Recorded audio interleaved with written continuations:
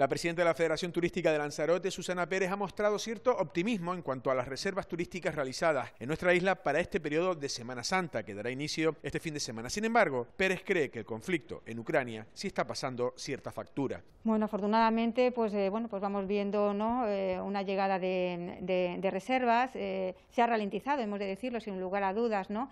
con obviamente pues la invasión de, Rusia ¿no? a Ucrania, no tanto en el inicio de la invasión, puesto que bueno pensábamos que no iba a tener mayor ¿no?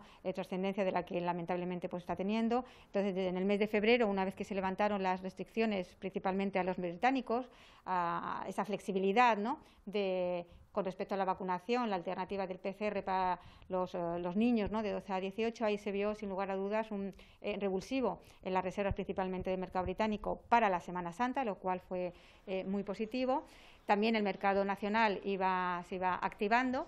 Pero, como digo, hemos visto cómo en las últimas semanas, lamentablemente, pues, con motivo de esta invasión, pero sobre todo por la consecuencia que, que está teniendo en los, en los precios, eh, y el impacto también, por tanto, ¿no? en, eh, la economía ¿no? y en los bolsillos de las, de las familias se ha visto ralentizado. En cuanto a los meses de mayo y junio, la presidenta de la patronal hotelera ve cierta incertidumbre. Eh, unos meses por delante de incertidumbre, positivo en el sentido de que, de que la gente tiene ganas de viajar, en todos los sentidos, ¿no? y por parte de todos los los, eh, mercados ¿no? y, países, el nacional, el británico, el francés, el alemán como importante potencia ¿no? económica, eh, se está viendo afectado, eh, sin lugar a dudas, por, por esta por esta crisis, por la invasión, sobre todo por la dependencia, ¿no? como bien sabemos, del gas ruso.